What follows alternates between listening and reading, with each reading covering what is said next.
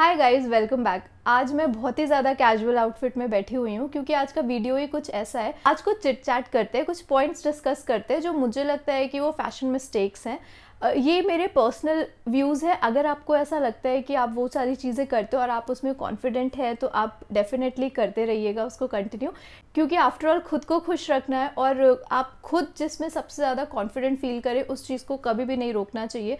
कोई कितना भी बोलता रहे कि वो फ़ैशन मिस्टेक है या कुछ भी है। बट यहाँ पे जो मुझे कुछ पॉइंट्स ऐसे लगते हैं, जो थोड़ा सा दिमाग में रखना चाहिए, वो डिस्कस करते तो चलिए शुरू करते हैं वीडियो इस वीडियो के लिए मैंने 15 पॉइंट्स नोट करके रखे हुए हैं, जो कि मैं आज आप लोगों के साथ शेयर करूँगी। फ़र्स्ट पॉइंट है सीक्वेंस साड़ी। तो सीक्वेंस साड़ी आप सबको पता है, बहुत ज़्यादा ट्रेंड में आया हुआ था। अभी फिर भी थोड़ा सा फेड हो गया पर अभी एक साल पहले तक तो बहुत ही ज़्यादा ट्रेंड में था। इनफैक्ट अभी भी लोग पहन रहे तो यहाँ प्रॉब्लम सीक्वेंस साड़ी से नहीं है। सीक्वेंस साड़ी अच्छी लगती है। बट प्रॉब्लम क्या है, जो वो उसके रेप्लिका बनाने लग गए हैं, जो चीप साड़ियाँ बनती है ना सीक्वेंस की, जो सस्ती सस्ती से मिलती है, वो पहनने पे नहीं अच्छी लगती है, क्योंकि उसमें जो सीक्वेंस होती है, वो बहुत ही चीप क्वालिटी की होती है और उसकी वजह से जब आप उस साड़ी को पहनते हो तो वो बिल्कुल अच्छा नहीं लगता। क्वालिटी में कॉम्प्रोमाइज़ की गई है तो वो पहनने के बाद वो चीज़ दिख के आती है। जैसे मैं आपको यहाँ पे दो इमेज से कंपेयर करके दिखाती हूँ। एक साइड आपको ये अच्छे डिज़ाइनर सीक्वेंस साड़ी दिख रही है और एक यहाँ पे बिल्कुल ही सस्ती सी है। आप देख के समझ सकते हो कि क्वालिटी डिफरेंस कितनी ज़्यादा है और पहने हुए नहीं अच्छी लगती। इमेजेस में फिर भी आप उसको एडिट करके अच्छा दिखा सकते हो बट रियलिटी में वो चीज़ नहीं अच्छी लगती है। तो मेरे हिसाब से उसको अवॉइड करना चाहिए। Second point black and golden leggings तो ये कहा जाता है कि ब्लैक एंड गोल्डन अगर आप रख रहे हो अपने वार्ड्रोब में तो आप उसको मैक्सिमम चीज़ों के साथ पहन सकते हो।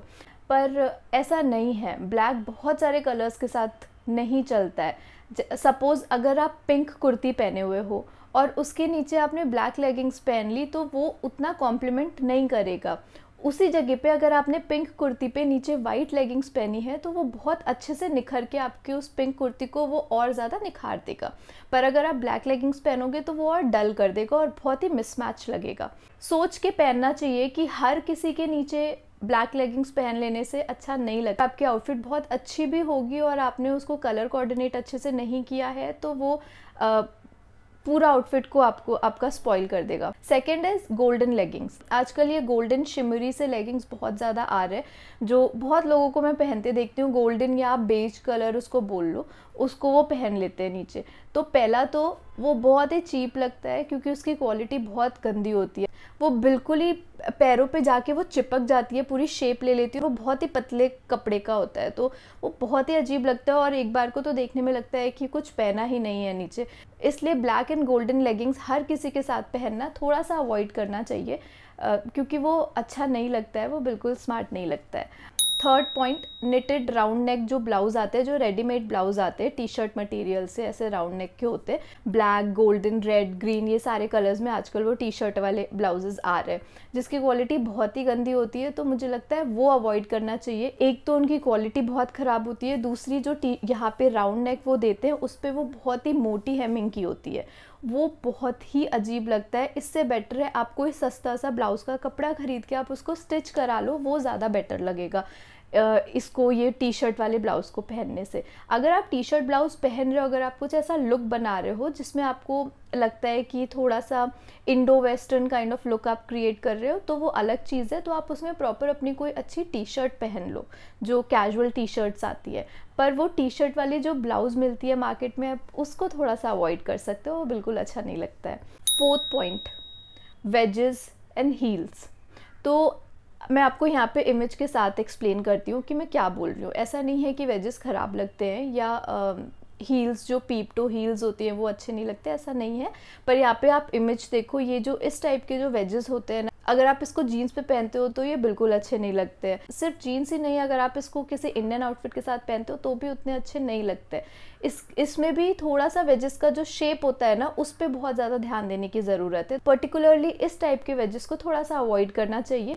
और जो ये पीप टो हील्स होते हैं आगे से जो ये आपका टो दिखता है उसको पीप टो बोलते तो थोड़ा सा आ, अच्छा नहीं लगता है। स्पेशली वेस्टर्न वेयर के साथ अगर आप पीप टो पहन रहे हो तो अवॉइड करना चाहिए। क्योंकि उससे वो स्मार्टनेस नहीं आ पाती है। नंबर फाइव यहाँ पे मैं लहंगे की बात करूँगी। लहंगे में कॉस्ट कटिंग किस तरीके से होती है, ये आप सबको पता है। तो अगर आपको कोई लहंगा पंद्रह हज़ार में दे रहा है सपोज़ और सेम लहंगा आपको कोई दो हज़ार में दे रहा है तो ऑब्वियसली उसकी कॉस्ट कटिंग हुई होती है। फैब्रिक पे कॉस्ट कटिंग होती है, जो भी उस पर वर्क होता है, उस पर कॉस्ट कटिंग होती है।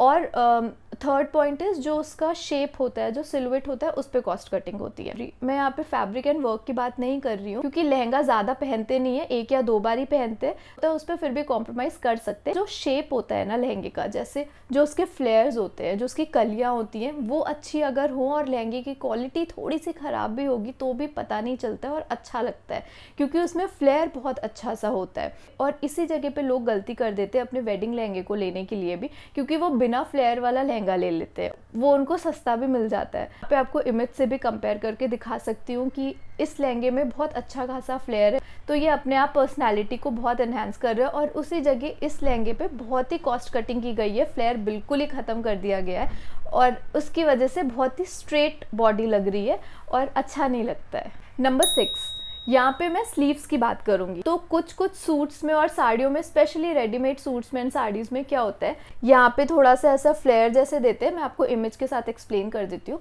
ये इतना स्मार्ट नहीं लगता है। इनफैक्ट बिल्कुल भी अच्छा नहीं लगता है। मुझे तो स्पेशली नहीं अच्छा लगता है। अगर मेरे किसी आउटफिट में ये होता भी है तो मैं इसको निकलवा देती हूँ। और ये जो ऐसा फ्रिल्स ऐड करते हैं स्लीव्स के आगे, वो अच्छा नहीं लगता है तो उसको अवॉइड किया जा सकता है। अगर आपको कोई आउटफिट बहुत अच्छा लग रहा है, पर उसमें ऐसा फ्रिल्स लगे हुए हैं तो आप वो आउटफिट लेके आप उस फ्रिल्स को निकलवा सकते हो, क्योंकि मैं वैसा ही करती हूँ। और स्पेशली जितने वर्क वाले आउटफिट सूट्स होते हैं या साड़ियाँ होती हैं, उसमें बहुत ज़्यादा आजकल बना के दे रहे हैं। मुझे पता नहीं क्यों ऐसा कर रहे हैं। लोग ले रहे होंगे, शायद लोग पहन रहे होंगे, इसलिए आप मार्केट में भी बहुत ज़्यादा मिल रहा है। पर वो स्मार्ट नहीं लगता है। आप अगर ध्यान दोगे तो किसी भी डिज़ाइनर आउटफिट में आपको ये फ्रिल्स और ये सारी चीज़ें लगी हुई नहीं मिलेंगी। नेक्स्ट पॉइंट है पॉलिस्टर फैब्रिक तो आजकल पॉलिस्टर फैब्रिक के आउटफिट्स बहुत ज़्यादा आ रहे हैं स्पेशली वेस्टर्न वेयर में, क्योंकि वो थोड़े से सस्ते होते हैं तो काफ़ी पॉकेट फ्रेंडली भी होते हैं नो डाउट पर उसमें प्रॉब्लम क्या है, वो सबको सूट भी नहीं करता है पॉलिस्टर फैब्रिक उसमें ना वो देख के समझ में आ जाता है कि बहुत ही चीप सा फैब्रिक है।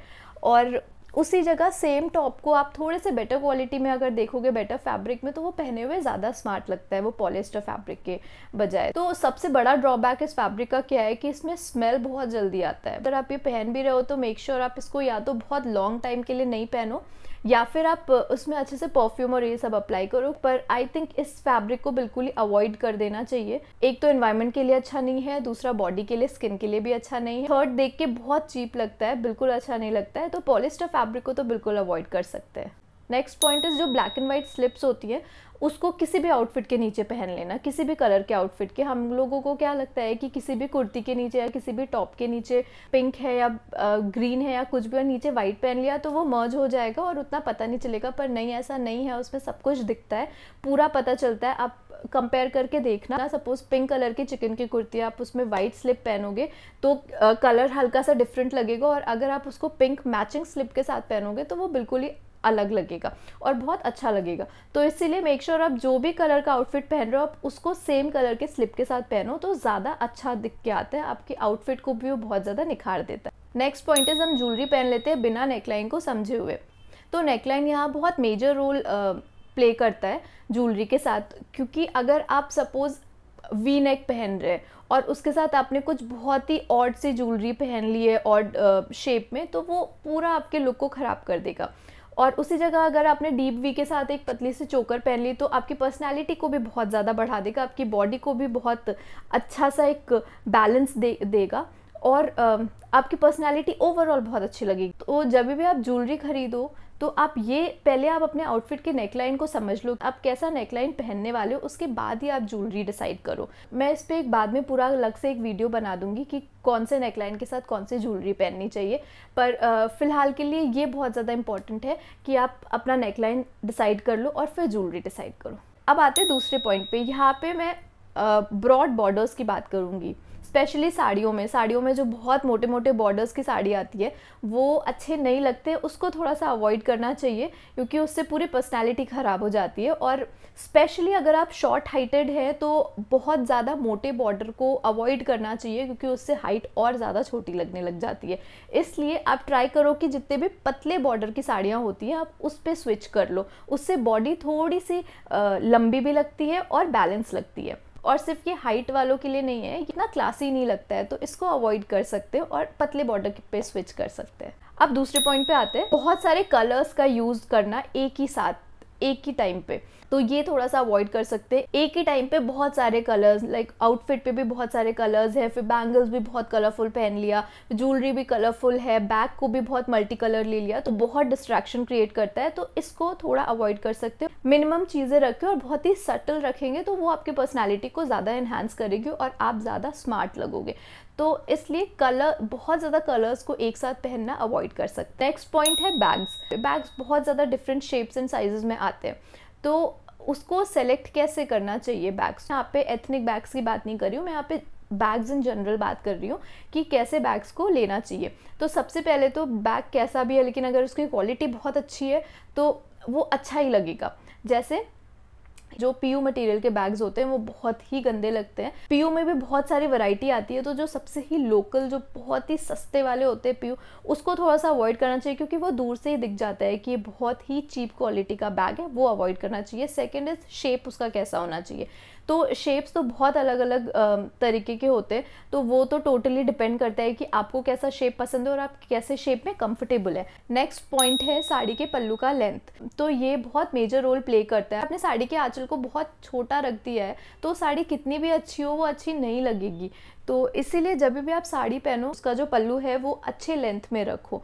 वो उससे ज़्यादा अच्छी पर्सनैलिटी बन के आती है और उससे हाइट भी थोड़ी सी लंबी लगती है। नंबर फोर्टीन अपने कपड़ों को आयन करके पहनना। आप कुछ भी पहन रहे हैं इंडियन पहन रहे हैं वेस्टर्न पहन रहे हैं ऑफ़िस जा रहे हैं फ्रेंड्स के साथ जा रहे हैं, कहीं पे भी जा रहे हैं आप अपने आउटफिट्स को आयन करके पहनो, क्योंकि बहुत इंपॉर्टेंट पॉइंट है और इसको लोग बहुत ज़्यादा स्किप कर देते हैं, भूल जाते हैं या आलस में छोड़ देते हैं कि ठीक है, इतना क्या फ़र्क पड़ रहा है, ठीक है, मैं भी कभी कभार कर देती हूँ ऐसा, पर मैं ट्राई करती हूँ कि हमेशा आयन करके पहनूँ। अगर आप आयन नहीं करते हो ना तो उससे बहुत अच्छे आउटफिट का भी पूरा चाम ख़त्म हो जाता है और आपकी पर्सनैलिटी निकल के नहीं आती। कपड़े आयन करना कोई बहुत बड़ी बात नहीं है, पर इससे पर्सनैलिटी पे बहुत ज़्यादा फ़र्क पड़ता है और ऐसा लोग सोचते हैं कि नहीं, ठीक है, इतना क्या फ़र्क पड़ रहा है, लेकिन पड़ता है। लोग आपको उतना सीरियसली नहीं लेते हैं। इन छोटे छोटे पॉइंट से आपका इम्पैक्ट कैसे पड़ रहा है किसी और के सामने, वो बहुत ज़्यादा डिपेंड करता है। इसलिए हमेशा कपड़ों को आयन करके पहनना चाहिए। आप कहीं पर भी जा रहे हो। इसी के साथ मैं अपने लास्ट पॉइंट पर आ गई हूँ, जो है confidence and a beautiful smile तो ये बहुत ज़रूरी है, आप कुछ भी पहनो, कैसा भी पहनो, लेकिन अगर आप उसको कॉन्फिडेंटली पहन रहे हो तो आप उसमें अच्छे ही लगोगे। उसमें कोई डाउट ही नहीं है कि अच्छे ना लगो क्योंकि कॉन्फिडेंस ही मेजर रोल प्ले करता है किसी भी पर्सनैलिटी पे। आप घर के कपड़े क्यों ना पहन के गए लेकिन अगर आप उसको कॉन्फिडेंटली कैरी कर रहे हो तो आप पे नज़र जाएगी ही जाएगी सबकी, और लोग आपसे बात करना पसंद करेंगे। तो कॉन्फिडेंस बहुत ज़रूरी है और अच्छे से स्माइल अगर आप अच्छे से स्माइल रख रहे हो अपने फेस पे, चाहे जो भी पहने हुए हो आप, अगर अच्छे से स्माइल है तो वो अच्छा ही लगना है। आप सुंदर ही लगने वाले हो। अगर आप स्माइल नहीं करोगे और ऐसा डल से बैठे रहोगे तो वो आपके पूरे आउटफिट का चाम ख़त्म कर देगा। तो स्माइल बहुत ज़रूरी है। स्माइल करते रहो कॉन्फिडेंट रहो। शायद आपको स्माइल करता देख के कोई और स्माइल करे और उसका स्ट्रेस रिलीज़ हो तो इसलिए स्माइल करते रहना चाहिए। इसी के साथ ये वीडियो यहाँ पे ख़त्म होता है। आई होप आपको पॉइंट समझ में आएँगे जो मैं समझाना चाह रही थी। ये सारे मेरे पॉइंट ऑफ़ व्यूज़ हैं और अगर आप इसमें से कुछ कर रहे हैं कॉन्फिडेंटली कर रहे हैं तो आप उसको कैरी करते रहो, खुश होके। बस कॉन्फिडेंस और स्माइल याद रखना। और मुझे बहुत मज़ा आया ये वीडियो शूट करके, क्योंकि मैं बहुत कैजुअली बैठ के ये वीडियो शूट कर रही हूँ और अपने बस पॉइंट ऑफ़ व्यूज़ आप लोगों के साथ शेयर कर रही थी। आई होप आपको भी उतना ही मज़ा आया होगा ये वीडियो देख के। तो अगर अच्छा लगा होगा तो प्लीज़ लाइक कर देना फ्रेंड्स एंड फैमिली के साथ शेयर कर देना और सब्सक्राइब कर देना। और अपना ध्यान रखना। बाय